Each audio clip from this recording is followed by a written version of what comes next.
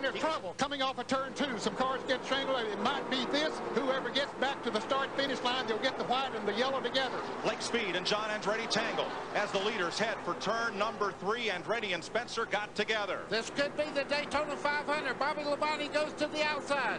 Labonte up high. Earnhardt uses the lap car of Rick Mast to the, as a pick. 20 years of trying, 20 years of frustration. Dale Earnhardt will come to the caution flag to win the Daytona 500. Finally, the most anticipated moment in racing. If John L.